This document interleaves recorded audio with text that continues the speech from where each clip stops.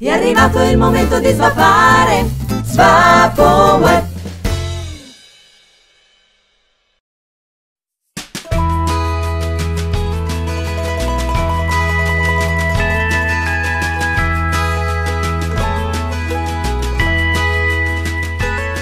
Questo è un progetto per quanto riguarda la scuola in continuità con l'associazione Proloco di Airula eh, perché abbiamo lasciato i personaggi illustri per eh, scoprire quelle che sono le bellezze architettoniche eh, del, di Airula e del circondario. Partiamo con la conoscenza del castello perché didatticamente partire dalla storia del proprio paese significa educare gli alunni alla storia e quindi alla storia in generale, quella la, eh, tra virgolette, la grande storia.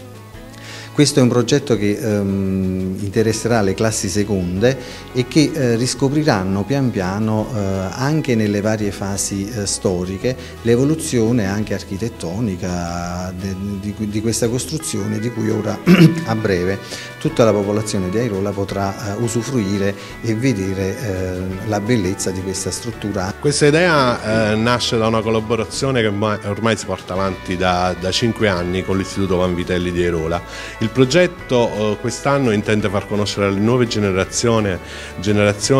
un bene culturale per eccellenza di Erole, il castello medievale che sorge sulla collina di Monte Oliveto. Um, si, si è scelta una nuova collana eh, edita dalla Proloco dal titolo I monumenti di Erola e si parte con il castello medievale. Il progetto si articola in due fasi, la prima fase sarà interamente dedicata alla ricerca bibliografica che verrà eh, fatta eh,